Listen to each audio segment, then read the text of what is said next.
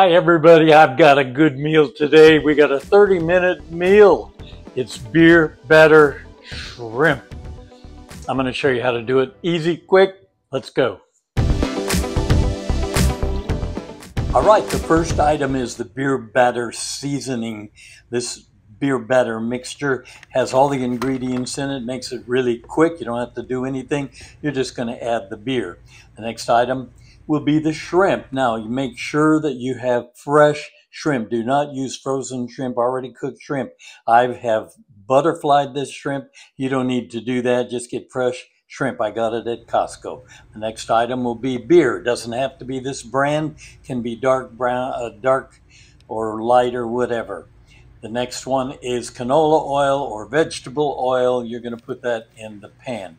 Go ahead and put up one cup.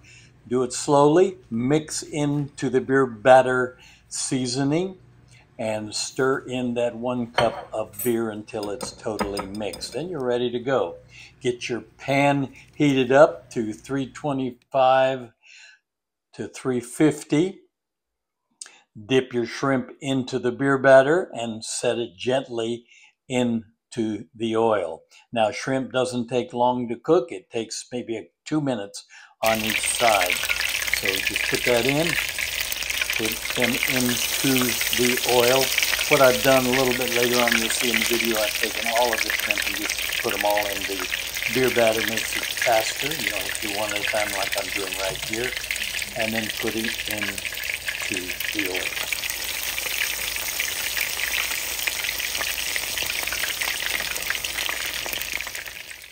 The next step after it's cooked about two minutes, go ahead and turn each piece over one at a time gently.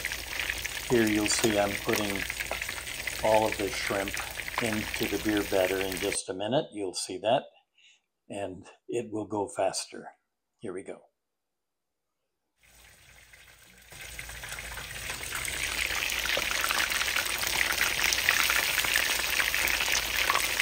After the shrimp is cooked, both sides, take it out and put it on a tray. and put some paper towel underneath it to get the oil that drips. And here's the plate.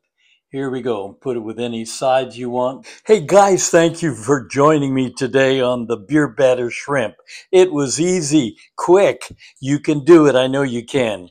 Thanks for joining me. Catch me on my next video. Subscribe and hit the like button if you will, please. And I appreciate it. Thank you very much. Have a great day. Bye bye.